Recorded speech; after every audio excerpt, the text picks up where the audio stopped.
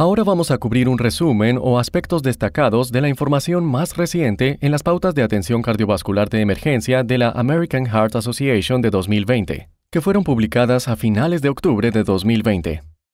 Incluso con todos los cambios y mejoras en los años recientes, la American Heart afirma que menos del 40% de los adultos reciben RCP iniciada por un LEGO, y en realidad menos del 12% se les aplicará un DEA antes de la llegada del SEM. No ha habido una mejora significativa en las tasas de supervivencia desde 2012 por paro cardíaco fuera del hospital. Si bien las tasas de supervivencia fuera del hospital son aproximadamente las mismas, la buena noticia es que los resultados de un paro cardíaco en el hospital han mejorado.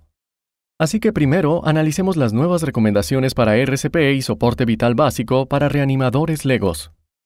Veamos el inicio temprano de la RCP por parte de rescatistas legos. Los legos deben iniciar la RCP en caso de presunto paro cardíaco porque el riesgo de daño al paciente es bajo si el paciente no está en paro cardíaco. ¿Por qué hacemos esta declaración? Bien, nueva evidencia muestra que el riesgo de daño a una víctima que recibe compresiones torácicas cuando no está en paro cardíaco es bastante bajo. Los rescatistas legos generalmente no pueden determinar con precisión si una víctima tiene pulso, y el riesgo de retener la RCP de una víctima sin pulso supera el daño de compresiones torácicas innecesarias. Los legos o principiantes deben recibir formación sobre cómo responder a las víctimas de una sobredosis de opioides, incluida la administración de naloxona. Respecto a la retroalimentación audiovisual en tiempo real, esto realmente no se modificó y se reafirmó. Puede ser razonable utilizar dispositivos de retroalimentación audiovisual durante la RCP para optimizar en tiempo real el rendimiento de la RCP.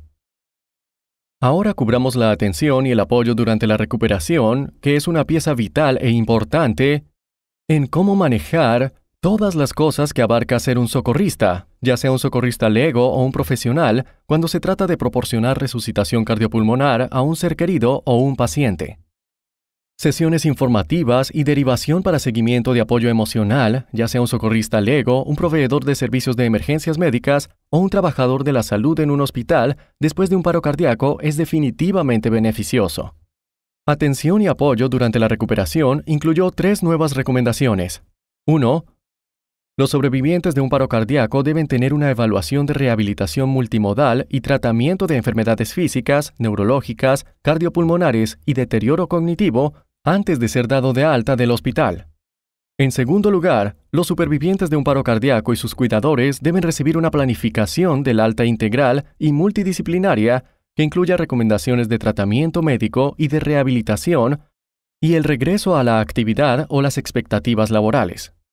En tercer lugar, se debe realizar una evaluación estructurada para la ansiedad, la depresión, el estrés postraumático y la fatiga para los sobrevivientes de un paro cardíaco y sus cuidadores. A continuación, veamos el paro cardíaco durante el embarazo. Debido a que las pacientes embarazadas son más propensas a la hipoxia, debe priorizarse la oxigenación y el manejo de las vías respiratorias durante la reanimación de un paro cardíaco. Ahora, debido a una posible interferencia con reanimación materna, no se debe realizar una monitorización fetal durante un paro cardíaco en el embarazo. Veamos ahora la respiración de rescate pediátrica. Para bebés y niños con pulso, pero esfuerzo respiratorio ausente o inadecuado, es razonable dar un respiro cada 2 o 3 segundos o alrededor de 20 a 30 respiraciones por minuto. La frecuencia se incrementó desde el antiguo estándar de una respiración cada 3 a 5 segundos. Ahora veamos la sobredosis pediátrica de opioides. Hubo tres recomendaciones actualizadas solo bajo este tema. En el caso de pacientes en paro respiratorio, se debe mantener la respiración o la ventilación con bolsa mascarilla hasta que vuelva la respiración espontánea, y las medidas estándar de BLS pediátricas deben continuar si no se produce el retorno de la respiración espontánea. En segundo lugar, para un paciente con sospecha de sobredosis de opioides que tiene pulso definido pero sin respiración normal o solo jadeante, como en un paro respiratorio, Además de proporcionar BLS pediátrico estándar, también es razonable para los socorristas administrar naloxona intramuscular o intranasal. Por último, para los pacientes que se sabe o sospecha que están en paro cardíaco, en ausencia de un beneficio comprobado del uso de naloxona, las medidas de reanimación estándar deben tener prioridad sobre la administración de naloxona con un enfoque en RCP de alta calidad. A continuación, veamos los cambios clave del soporte vital neonatal. La reanimación del recién nacido requiere anticipación y preparación por proveedores que entrenan individualmente y en equipo. La mayoría de los recién nacidos no requiere pinzamiento inmediato del cordón o reanimación y puede ser evaluado y monitoreado durante el contacto piel a piel con sus madres después del nacimiento. La prevención de la hipotermia es un enfoque importante para reanimación neonatal. La importancia del cuidado piel a piel en bebés sanos se refuerza como un medio para promover la vinculación de los padres, lactancia materna y temperatura normal. La inflación y ventilación de los pulmones son la prioridad en los recién nacidos que necesitan apoyo después del nacimiento. Un aumento en la frecuencia cardíaca es el indicador más importante de ventilación eficaz y respuesta a intervenciones de reanimación. Ahora analicemos las recomendaciones de las guías en educación. Y esto es extremadamente cercano y querido a nuestro corazón aquí en Pro Trainings, pues realmente siempre hemos creído que tener entrenamientos más frecuentes, en partes más pequeñas, cuando es más efectivo para ti, en un lugar más eficaz para ti, era de vital importancia. Siempre hubo demasiada distancia entre una formación inicial en el aula y tu recertificación de dos años. Y es refrescante ver que la ciencia y la American Heart Association ahora también respaldan esta forma de aprendizaje a distancia a tu propio ritmo y entregado en pequeñas sesiones de entrenamiento de refuerzo. Démosle un vistazo más de cerca a estas actualizaciones. Primero, veamos la práctica deliberada y de dominio. El uso de práctica deliberada y aprendizaje de dominio durante el entrenamiento de soporte vital e incorporando la repetición con retroalimentación y estándares mínimos de aprobación puede mejorar la adquisición de habilidades. El entrenamiento de refuerzo y aprendizaje espaciado incluye tres recomendaciones. Se recomienda implementar sesiones de refuerzo al utilizar un enfoque de aprendizaje maestro para entrenamiento en reanimación es razonable utilizar un enfoque de aprendizaje espaciado en lugar de un enfoque de aprendizaje masivo para entrenamiento en reanimación. Siempre que los estudiantes individuales puedan asistir a todas las sesiones, separar el entrenamiento en múltiples sesiones. En otras palabras, aprendizaje espaciado es preferible al aprendizaje masivo. Entonces, ¿por qué se hizo esta recomendación?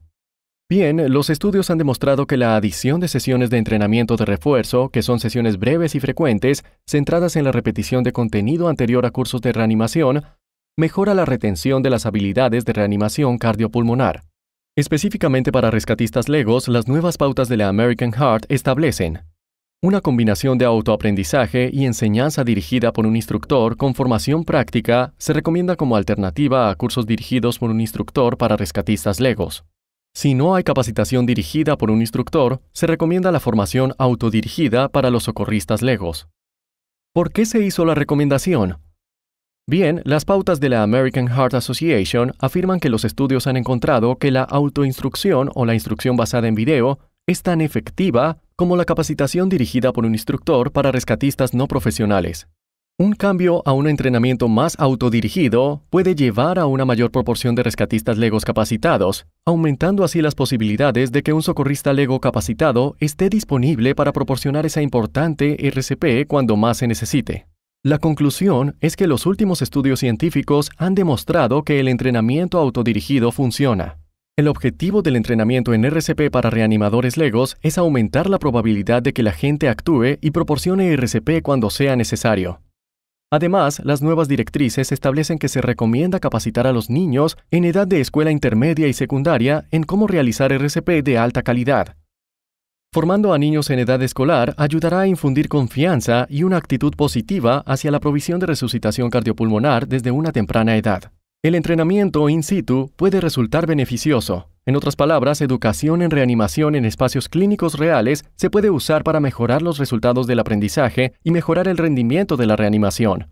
La realidad virtual, que es el uso de una interfaz de computadora para crear un entorno inmersivo y un aprendizaje gamificado, que es jugar y competir con otros estudiantes, se puede incorporar a la formación en reanimación para legos y profesionales sanitarios. La capacitación en RCP de los espectadores debe apuntar a poblaciones socioeconómicas, raciales y étnicas que históricamente han exhibido tasas más bajas de RCP por espectadores.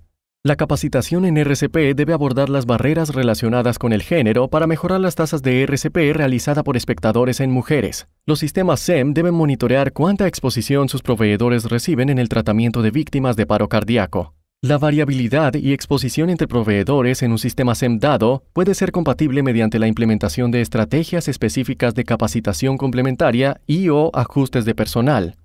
Los proveedores de atención médica deben completar un curso de ACL para adultos o su equivalente. Es razonable que los espectadores estén más dispuestos a realizar RCP mediante capacitación en RCP, capacitación masiva en RCP, iniciativas de concientización sobre RCP y promoción de RCP con las manos. Me gustaría concluir estas actualizaciones con una nota sobre la tecnología de la telefonía móvil. El uso de tecnología de telefonía móvil mediante sistemas de despacho de emergencia para alertar a los transeúntes dispuestos a eventos cercanos que pueden requerir el uso de RCP o AED ahora es razonable. El uso de esta tecnología aún no se ha estudiado en Norteamérica, pero la sugerencia de beneficios en otros países hacen de esto una alta prioridad para la investigación futura.